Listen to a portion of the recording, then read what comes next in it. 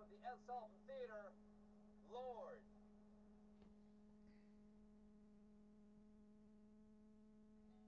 My cheeks in high color, overripe